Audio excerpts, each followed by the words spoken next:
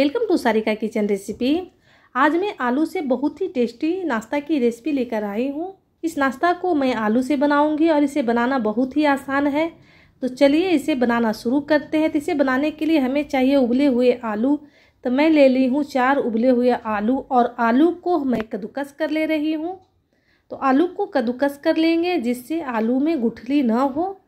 कद्दूकस करने से आलू का सारा गुठली खत्म हो जाता है। ऐसे आलू को मैश करेंगे तो आलू में गुठली रह जाता है, इसलिए इसे कद्दूकस कर लेना है। अगर आप मेरे चैनल पे पहली बार हैं तो मेरे चैनल को सब्सक्राइब कर दें, बेल आइकन को प्रेस कर दें, जिससे आपको मेरी आने वाली वीडियो की नोटिफिकेशन मिलती रहे। सारे आलू को कद्दूकस कर लेना है।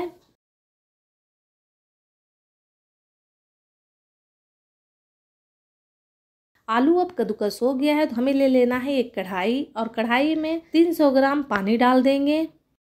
इसमें दो चम्मच तेल डाल देंगे। तेल डालने से ये नाश्ता बहुत ही सॉफ्ट बनेगा और बहुत ही अच्छा बनेगा, इसलिए तेल ज़रूर डालें, याद से डालें। और थोड़ा सा हल्दी पाउडर थोड़ा सा चिल्ली फ्लेक्स, यानी कि कुटी हुई लाल मिर्च, नमक अपने स्वादानुसार डालें।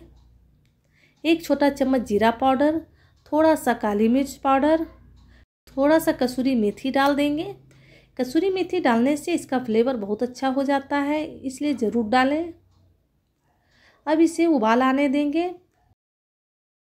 तो पानी को अच्छी तरह से उबल जाने दें।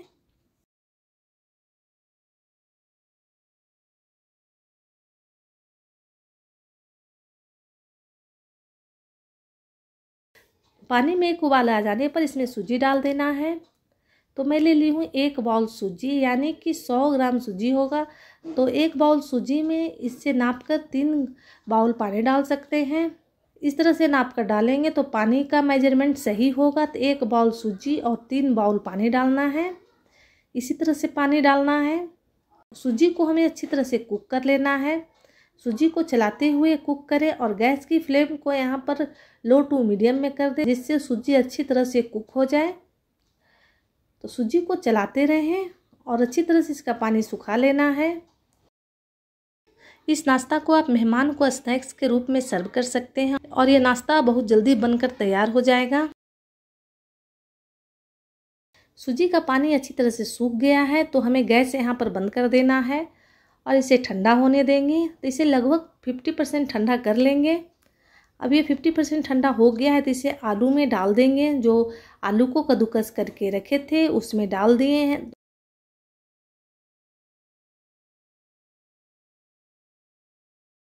इसे हमें अच्छी तरह से मिक्स कर लेना है।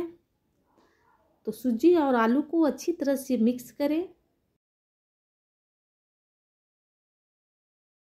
सूजी आलू को अच्छी तरह से मिक्स कर लेना है। इसे मैं चम्मच से मिक्स कर ले रही हूँ, लेकिन चम्मच से मिक्स करने में थोड़ा दिक्कत आ रहा था तो इसे मैं हाथ से अब मिक्स कर लूँगी, जिससे ये एकदम अच्छी तरह से मिक्स हो जाए।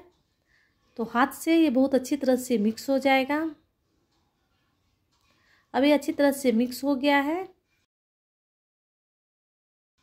हमें ले लेना है एक प्लेट, और प्लेट में थोड़ा सा तेल डाल देंगे। तेल डालकर तेल को हमें अच्छी तरह से ग्रीस करना है। तो तेल को प्लेट में अच्छी तरह से फैला लें। तो एक ब्रश की सहायता से मैं इसे अच्छी तरह से फैला ले रही हूँ। अब इसमें सूजी और आलू वाला बैटर डाल देंगे और इसे अच्छी तरह से फैला देंगे इस तरह से। तो इसे बहुत ज़्यादा नहीं फैलाएँगे, इसे मोटा ही रखना है। तो इसे हल्का ही फैलाना है।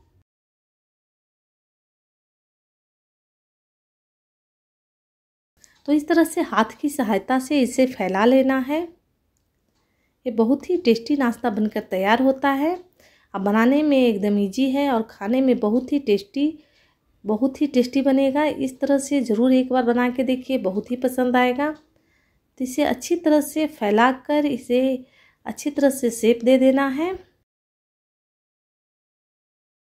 अब इसे हमें कट कर लेना है। तो एक चाकू की सहायता से कट कर लेंगे तो सबसे पहले साइड वाला पार्ट को कट करके हटा देना है।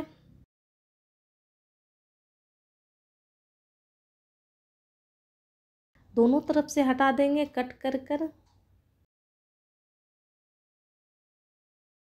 अब पतला पतला तरह से कट कर लेना है, बहुत ज़्यादा मोटा भी नहीं और बहुत ज़्यादा पतला भी नहीं। तो मीडियम शेप में हमें कट कर लेना है।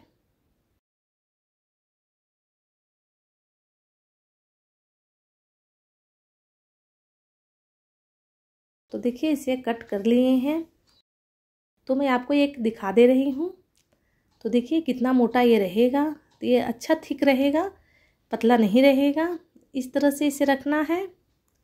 अब चलिए, इसे सेलो फ्राई करते हैं। तो इसे हमें सेलो फ्राई करना है डीप फ्राई नहीं करना है। आप इसे डीप फ्राई भी कर सकते हैं। तो इसे आप आटा या तो मैदा का घोल में डीप करके इसे फ्राई करें। उससे भी बहुत टेस्टी बनेगा, लेकिन मैं इसे कम तेल में बना रही हूँ, इसे मैं सेलो फ्राई करूँगी। दो से तीन चम्मच तेल ले लिए हैं फ्राई पैन में। फ्राई पैन में तेल को अच्छी तरह से फैला लिए हैं। अब इस पर एक एक नाश्ता को इस तरह से रख देना है।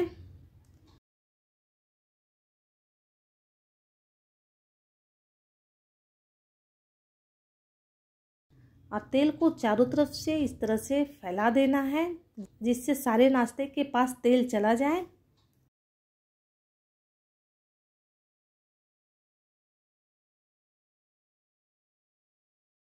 अब इसके ऊपर थोड़ा सा तिल डालेंगे। तिल पहले नहीं डालेंगे, नहीं तो तिल जल जाएगा, जला हुआ तिल स्वादिष्ट नहीं लगता है, इसलिए तिल को बाद में डालना है। अब इसे हमें पलट लेना है। तो इसे सावधानी पूर्वक पलटें। क्योंकि पलटने में ये टूट सकता है, बहुत सॉफ्ट है, इसलिए सावधानी पूर्वक पलटें। नाश्ता को पलटने में हमें थोड़ा सा परेशानी होता है, लेकिन आराम से पलटेंगे तो यह अच्छी तरह से पलटा जाएगा। इस नाश्ता को बनाने में ज़्यादा टाइम भी नहीं लगता है और इसे आप मेहमान को स्नैक्स के रूप में सर्व कर सकते हैं, ये बहुत ही टेस्टी बनता है। जितना देखने में सिंपल है, खाने में उतना ही ज़्यादा टेस्टी है। तो इस तरह से एक बार बनाकर ज़रूर देखें, आपको बहुत ही पसंद आएगा। तो इसे अलटते पलटते हुए हमें चारों तरफ़ से इसे कुक करना है, दो तरफ़ से नहीं। ध्यान रहे, इसे चारों तरफ़ से कुक करना है। इसलिए इसे चारों तरफ़ से पलट पलट कर, अच्छी तरह से गोल्डन ब्राउन होने तक इसे कुक कर ले रहे हैं। तो इस तरह से पलट पलट कर हमें इसे अच्छी तरह से कुक करना है। तो ये देखिए, लगभग फ्राई हो गया है। बहुत कम तेल में नाश्ता बनकर तैयार हो जाता है और बहुत ही टेस्टी बनता है। एक बार इस तरह से ट्राई ज़रूर करें और हमें ज़रूर बताएँ कैसा लगा ये नाश्ता।